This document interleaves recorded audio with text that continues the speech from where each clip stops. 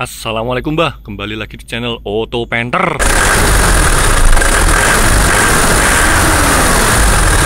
Jadi pada kesempatan kali ini saya mau menunjukkan Mbah motor CB saya ini setelah 5 bulan lebih menggunakan oli full minyak goreng Mbah. Seperti pada video yang satu ini di mana video tersebut sudah saya upload 5 bulan yang lalu dan pada video tersebut saya menunjukkan cara engine flush atau flashing oli pada motor menggunakan minyak goreng. Kemudian setelah di flashing itu kan olinya saya pakai minyak goreng full 100% minyak goreng sampai sekarang ini. Jadi kurang lebih 5 bulan lebih. Dan untuk kilometernya saya kurang tahu mbah. Maksudnya nggak saya catat ya mbah yang waktu ganti oli pertama itu. Jadi dikira-kira aja lah mbah sekitar berapa. Pokoknya selama 5 bulan itu motor ini saya pakai sehari-hari biasa. Dalam kota sini aja nggak jauh-jauh. Keluar kota keluar kota ya juga pernah mungkin tiga kalian lah. Jadi ya mungkin ya sudah waktunya ganti oli juga mbah dan makanya pada kesempatan kali ini saya mau mengecek bagaimana kondisi olinya. Apakah berkurang ataukah menghitam ataukah lebih bersih. Tapi kalau kondisi mesin pasti lebih bersih mbah sama kayak Panther saya itu kan sudah setahunan lebih saya pakai Migor dan hasilnya mesinnya lebih bersih mbah dan mungkin hasilnya harusnya sama. Nanti kita lihat aja mbah gimana kondisinya. Oke saya skip dulu. Nah ini mbah jadi nanti habis ini kita tap dulu olinya minyak gorengnya maksudnya yang dipakai buat oli pada motor ini kita tap kemudian kita cek bagaimana kondisinya. Setelah itu kita isi lagi menggunakan minyak goreng lagi mbah. Sekalian ganti oli. Nah awalnya waktu penggantian oli pertama itu pada video sebelumnya itu saya memasukkannya satu liter pas minyak gorengnya. Jadi nanti kita cek apakah minyak gorengnya berkurang atau tidak. Di sini kan sudah ada ukurannya ini. Eh sini nah, 1000 mili. Nah jadi nanti kita cek mbah. Oke kita tap dulu. Nah Nah, tapi sebelum itu kita coba nyalakan dulu Mbah bagaimana suaranya, suara mesinnya setelah lima bulan lebih menggunakan oli Migor full 100% minyak goreng. Oke Mbah, kita nyalakan dulu. Nah, itu Mbah suaranya, suara mesinnya setelah lima bulan lebih menggunakan minyak goreng. Suaranya halus Mbah tetapan. Suaranya halus dan saya kira masih sehat-sehat saja Mbah mesinnya. Suaranya tetap halus. Coba saya dekatkan ya mbak.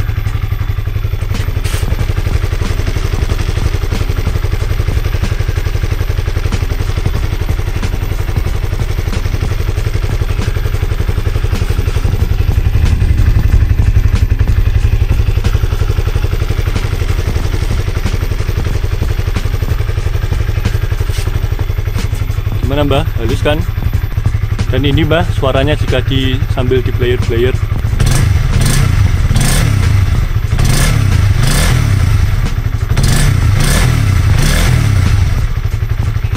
gimana mbah? Masih halus kan? Tapi saya kira malah lebih halus ini mbah daripada sebelumnya. Apa mungkin setelah efek 5 bulan lebih menggunakan migor itu ya mbah? Jadi kotoran-kotoran yang ada di dalam yang di kerak-kerak di mesin itu bisa rontok bisa lebih bersih Oke Mbah, itu dulu. Kita lanjutkan dengan tap minyak gorengnya, tap olinya maksudnya. Kemudian kita ganti dengan minyak goreng yang baru. Oke Mbah, selanjutnya kita tap dulu olinya. Pertama-tama buka tutupnya ini. Biar nanti cepet keluar olinya.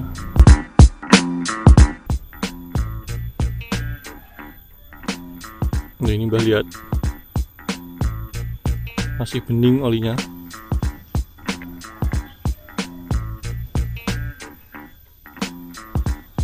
Hmm. masih bening kan mbak oke coba kita tap. Setelah tutup atasnya dibuka kemudian baut tap olinya yang bawah dibuka biar olinya nanti keluar ditambung di sini. Oke dibuka dulu baut tap bawahnya.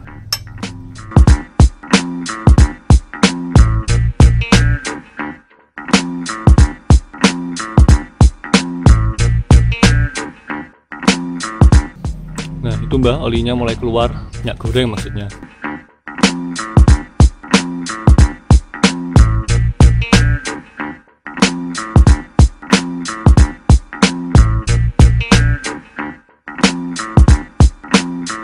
Nah, sudah Mbak, kita lihat hasilnya bagaimana.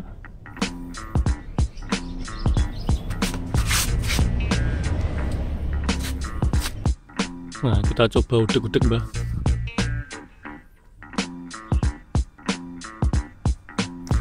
Terlihat masih kuning Mbak, masih kayak minyak goreng sedikit. Meskipun hitam kalau dicampur, ya kayak gini Mbak. Terus kemudian kita lihat volumenya Mbak volumenya.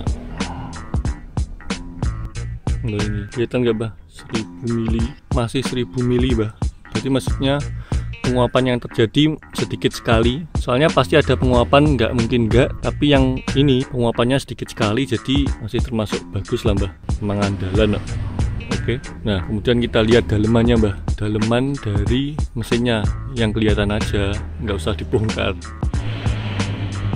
Nah itu mbah kelihatan nggak mbah? Kelihatan bersih kan dalamnya? Hmm.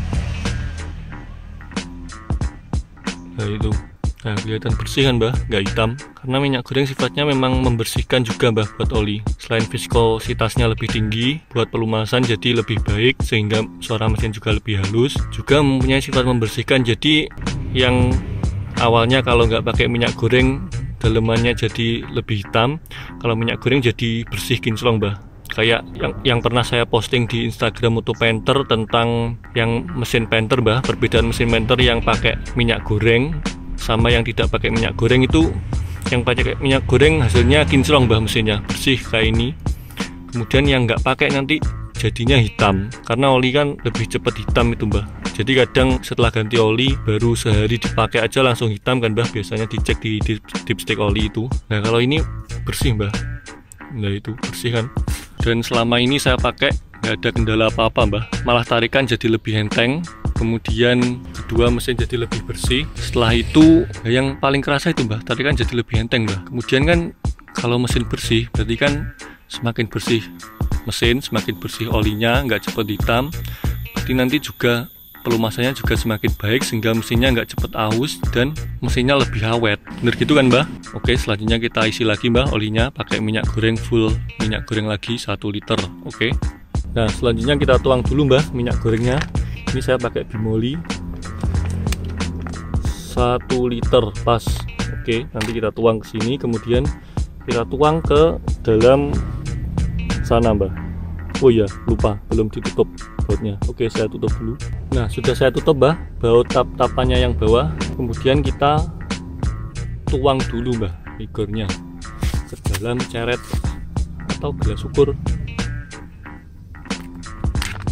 Nah untuk minyak gorengnya sendiri bebas mbak pakai merek apa aja. Saya pakai bimoli karena memang di toko sebelah adanya bimoli. Udah pakai bimoli saja nggak apa-apa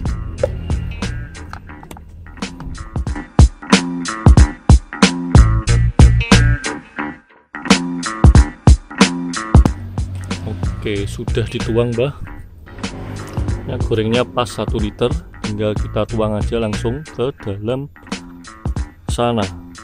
Ke dalam sana. Oke. Nah kita tuang dulu mbak di sini saya pakai torong yang herbal mbak torong herbal pakai dari daun daun jambu kayak ya. karena nggak punya torong mbak oke langsung kita tuang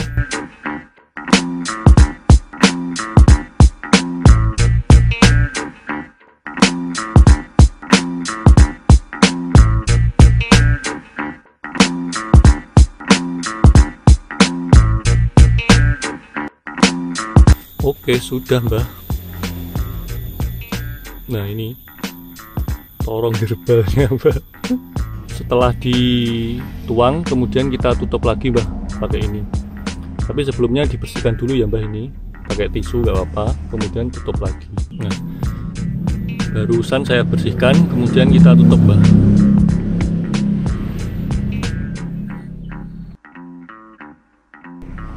Sudah cukup setelah itu kita coba nyalakan mbah. Oke? Nah itu mbah suaranya. Setelah saya nyalakan setelah ganti oli.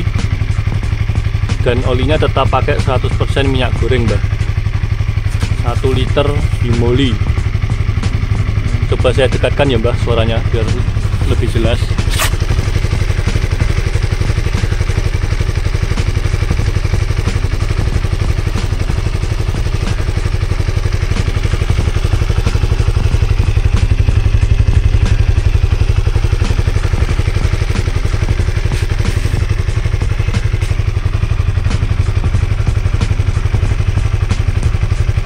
coba saya blare biar lebih kedengaran bagaimana suara tarikannya ketika digas-gas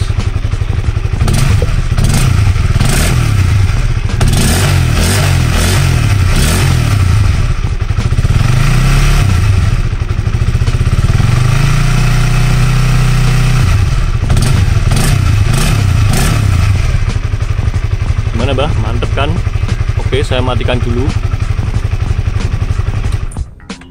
mungkin untuk video kali ini video tentang ganti oli motor CB saya ini setelah lima bulan menggunakan oli minyak goreng full 100% minyak goreng dan ternyata hasilnya sangat memuaskan suara jadi lebih halus tarikan enteng. Kalau nggak percaya coba sendiri saja mbah. Beneran ini saya review langsung soalnya saya pakai langsung sehari-hari tarikan jadi lebih enteng kemudian otomatis seperti yang saya lihat yang kita lihat tadi mbah di dalam mesinnya tadi kelihatan bersih nggak hitam dan olinya tadi hasil tap-tapannya tadi masih terbilang cukup bersih mbah.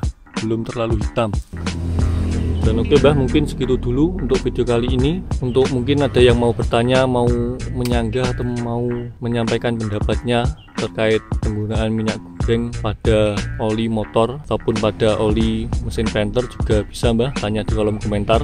Oke mungkin segitu dulu mbah untuk video kali ini. Terima kasih. Wassalamualaikum